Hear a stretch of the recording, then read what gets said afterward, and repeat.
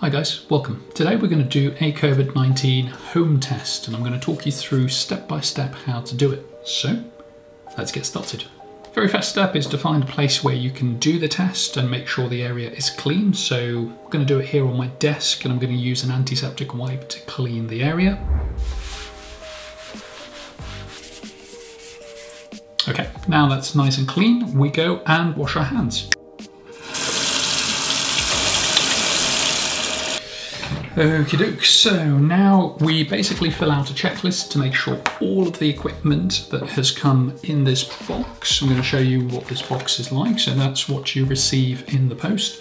Uh, we make sure everything is in there because you don't want to get started and find out halfway through that things are missing. We now have to clear all of the mucus from the back of our throat, from our nasal passages, and the best way to do that is the old fashioned way. So we give it a good blow and dispose in a bin, then you've guessed it, after this you wash your hands again.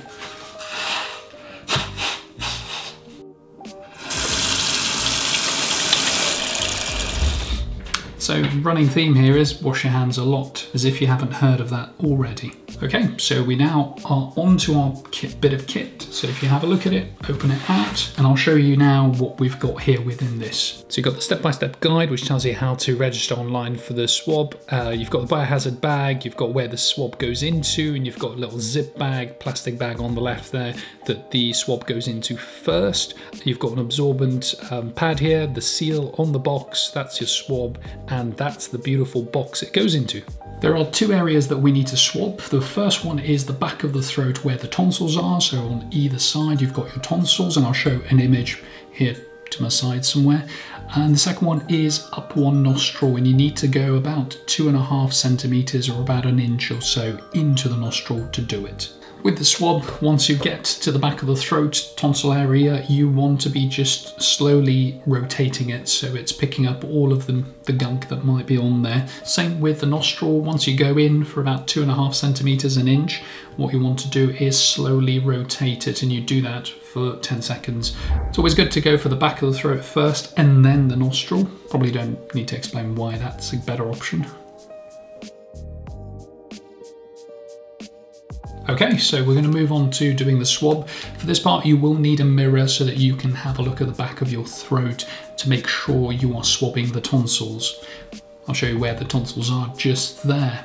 All right, so let's get started. So you don't want to grab the cotton part of the swab, you want the cotton part to be, you, I'm sure you'll get it. If we have a look at the swab, you don't want the top to touch anything else bar the tonsil part for 10 seconds and then your nostril for 10 seconds. So you don't want it to touch your cheeks, your tongue or anything else.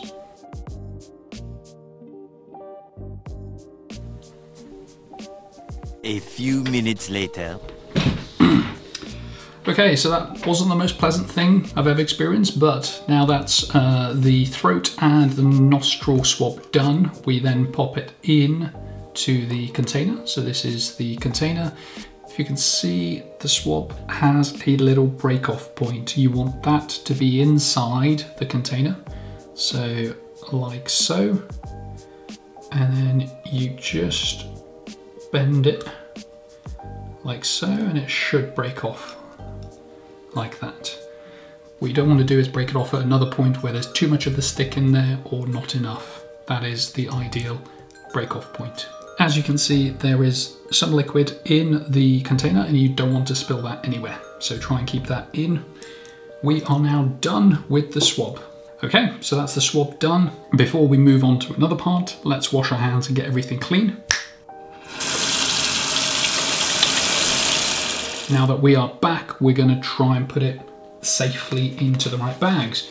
The very first bag you use is the clear Ziploc bag.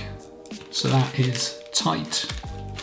Pop it in there and you pop the little absorbent pad in there as well. Okay, so once that's done, you're looking at the biohazard bag.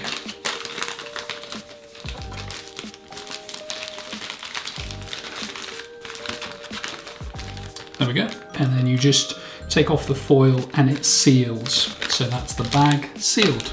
We're going to pop it there and we are going to just clean the outside of the bag because although the people who will be taking the swabs will wear gloves and all the protective equipment, it's just best to make sure there's nothing that we've put on there. So give it a nice wipe and clean.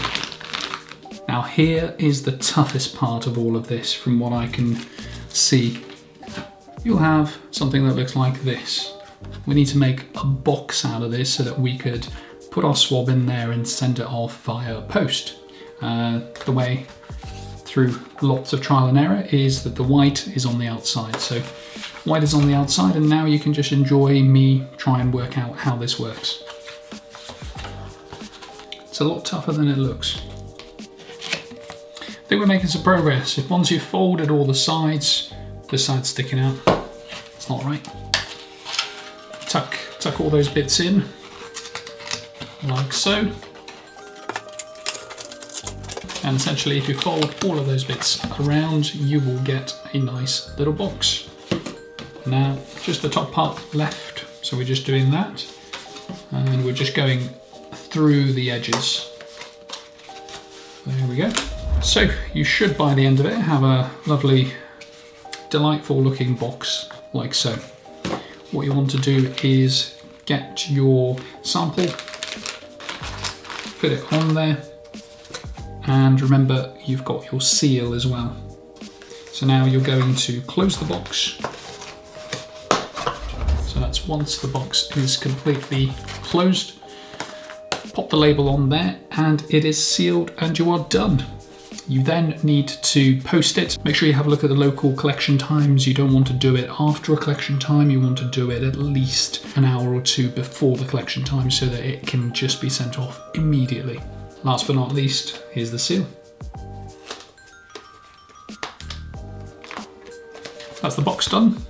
Now to answer a couple of questions, it can be a little bit tricky with children because they're not going to like something being stuck into their nose or the back of their throat. So it's important you try and play some games, distractions. Uh, it shouldn't be obviously painful, but if it if it is for them, then you obviously stop. But often it's a it's a good idea to explain to them why you're doing it, that it may not seem pleasant, but they mustn't move around because otherwise the swab goes all over the mouth and that's not what you want. So important to play games, um, distraction, put on some YouTube, put on a game on the phone or something and then you want to be doing it and the timings are pretty much the same. 10 seconds for the back of the throat the tonsil area and then 10 to 15 seconds for the nostril. Cool. Hope that's been useful. As i said the hardest part is the actual box itself so if you've managed to do the swab and the box, you're winning. Remember to follow up the results. It's better to see it visually than in a manual. Uh, that's certainly how I learned. So if you found it useful, then please consider giving us a follow. I make health videos on here that makes you healthier, happier, and more informed. Catch you on the next one.